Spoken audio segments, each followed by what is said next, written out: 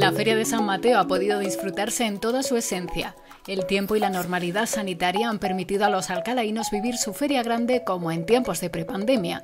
Esta edición, que arrancó como es habitual con la recepción y comida a los mayores, ha ofrecido espectáculos y conciertos para todos los públicos.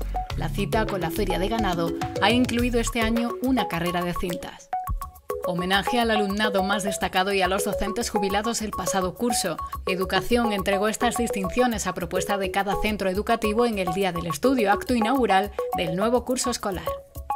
Redistribución y acondicionamiento del futuro Parque de la Pedriza.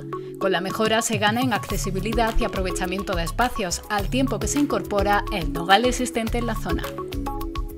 Subvención de la Junta de Andalucía en apoyo del comercio y artesanía local. Entre las líneas subvencionadas se encuentra la elaboración de un plan estratégico de comercio. Los colegios Alonso de Alcalá y Cristo Rey se suman al programa de educación vial STARS. Los centros han firmado un convenio con Diputación, Ayuntamiento y Jefatura Provincial de Tráfico para promover que su alumnado vaya al colegio andando. El ayuntamiento visita Metalúrgica San José Artesano. Esta cooperativa, ubicada junto al Parque de Bomberos, da empleo a unas 50 personas.